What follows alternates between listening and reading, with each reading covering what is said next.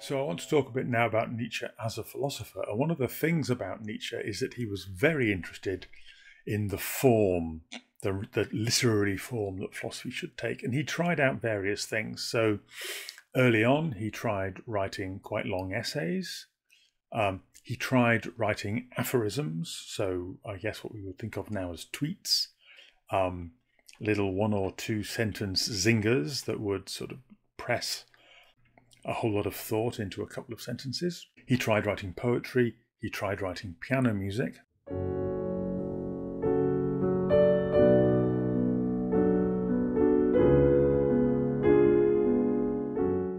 There's um, one of his central works was uh, Thus Spake Zarathustra, in which he kind of adopts a kind of biblical tone. So he, he has a go at writing a kind of um, pastiche of uh, Holy Scripture. He tries to write a thing that's kind of like a Bible for the future, um, only instead of having Jesus or Abraham as a kind of central character, he has this, this Zarathustra hermit, prophet, wise man who um, sort of walks through that book. And then he goes back to essay writing, and finally, um, he writes in a kind of autobiography. Now, the idea that there should be some kind of deep relationship between what a philosophy is saying and how it says it isn't new. It's there in early modern philosophy. So, for example, if you think about Descartes, Descartes' two major works were the Meditations and the Principles of Philosophy. Meditations is in the form of a diary, more or less. So sort of day one, I did this, day two, I did that. And the principles of philosophy is kind of like an autobiography. You know, when I first went to university, I uh, discovered that they were talking a load of rubbish, and therefore I did this and I did that, and I finally discovered the other. Now, autobiography and diary are the two forms of writing that go with introspection really, where you write to yourself. You write very much from um, your first person perspective. And that's what uh, Descartes did in his philosophy, right? He doubts everything until he is alone with his own thoughts. Uh, so that all he can do is introspect, and then he does the, you know, I think, therefore I am, and the rest of it, and kind of climbs out of that position. But Descartes' philosophy is introspective, and so it's appropriate that uh, he adopts the diary and the autobiography as his two literary forms. A little later, you find someone like Spinoza who uh, tries to write metaphysics in the same form that um, Euclid wrote geometry, right? Sort of, you know, theorem proof, theorem proof, that kind of format. Why? Well, because um, that literary form of uh, the kind of geometry textbook fits with uh, Spinoza's account of what the world's like and how we ought to investigate it.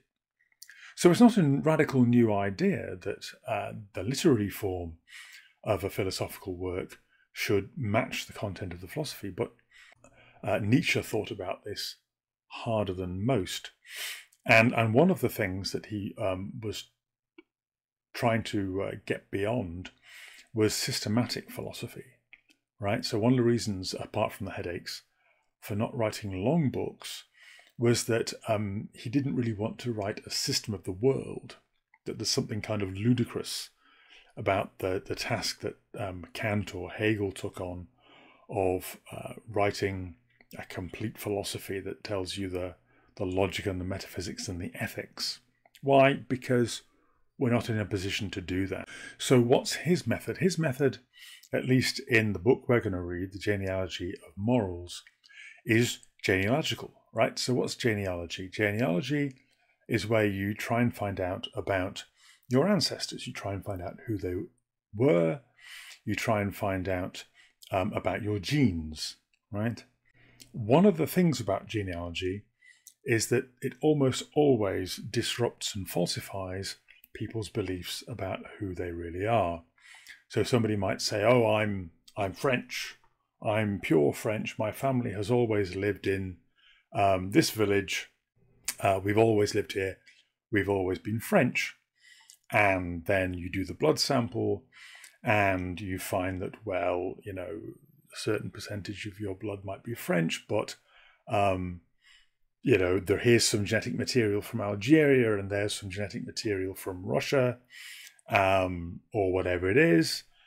And almost inevitably, when people do these kinds of blood tests, they find that their uh, their genetic heritage is much more complicated than they thought, and usually involves migration, and may well be less noble. People usually imagine themselves to have sort of noble backgrounds, but almost nobody does nobody has a pure noble background, right? There's always uh, some liaison between uh, the nobility and some commoner um, back in the family tree somewhere.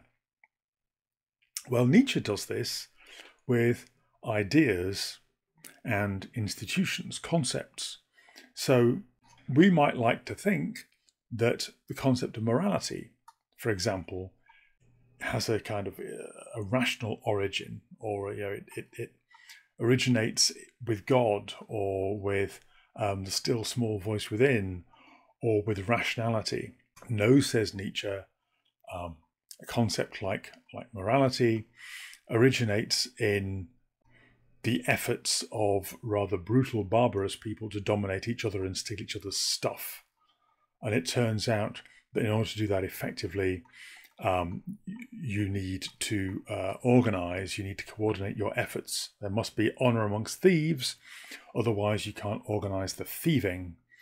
And, you know, that rather grubby kind of business is the origin of morality and also of the state.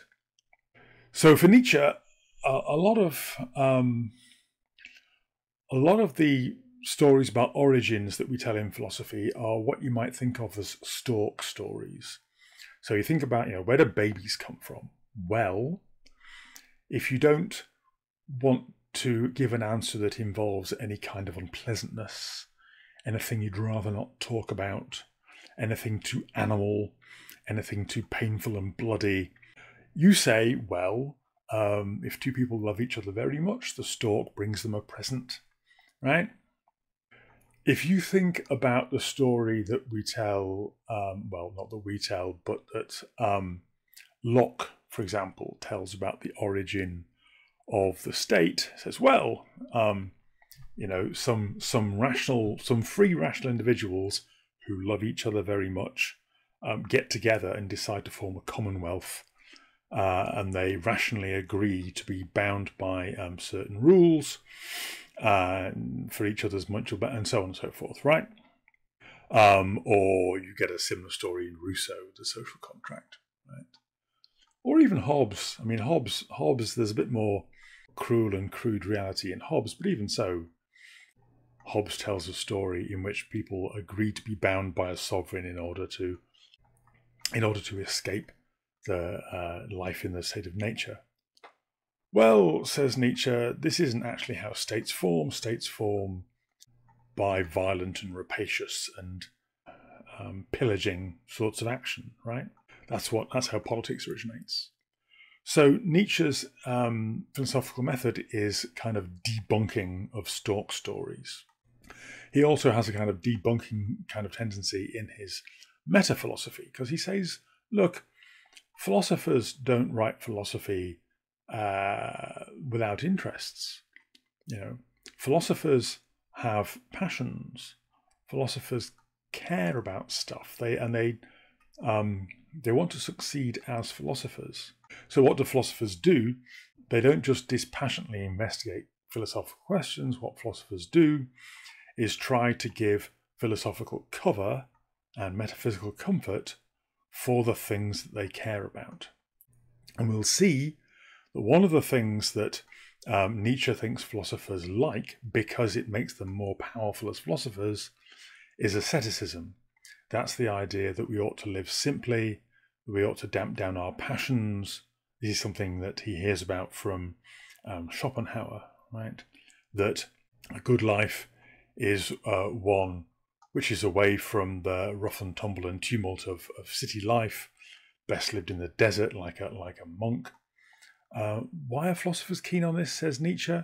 Well, these are the conditions on which under which you can best philosophize. This is a, these are the conditions under which you grow stronger and more powerful as a philosopher. So, of course, philosophers are in favor of this kind of stuff. And in his own autobiography, uh, he talks about you, should read his autobiography. It's very short. It includes chapters with titles like Why I Am So Clever and Why I Write Such Good Books.